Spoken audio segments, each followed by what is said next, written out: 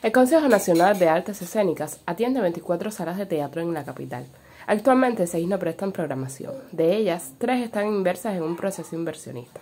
El Teatro Mella, el Teatro Pionero y el Gran Teatro de La Habana, Alicia Alonso. Y el Teatro Nacional de Guiñol se trabaja por concepto de mantenimiento constructivo. Solo no se elabora en la restauración del Teatro Fausto y el Teatro Musical. En el año 2022 se invirtieron en el sostenimiento y mantenimiento constructivo de esta red institucional alrededor de 19 millones de pesos, sin contar los montos asignados al Gran Teatro de La Habana. La sala El Sótano tenía problemas eléctricos, filtraciones graves y otras dificultades menores en el clima. Ahora se abrió después de dos años y medio y se incorpora a la cartelera cultural de la capital. El Gran Teatro de La Habana Alicia Alonso tiene dificultades por el comején en la sala García Lorca, en la carpintería y en los accesorios de madera. Está afectado el falso techo, que es la ruta crítica de la instalación.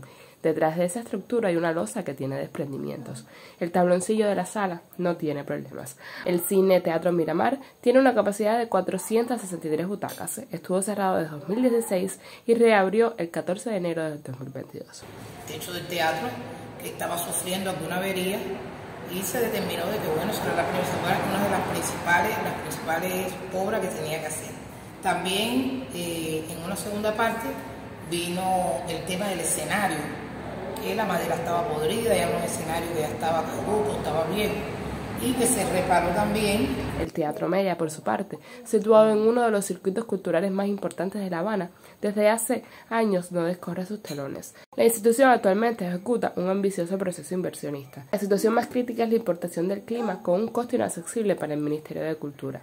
Igualmente, hay que importar algunos de los telones de boca y de fondo porque el gramaje que se necesitan, estas telas no existen en Cuba. No obstante, se arregló el tabloncillo, se repararon todas las lunetas, el sistema eléctrico y las luminarias, pero no se puede prestar servicio sin el clima.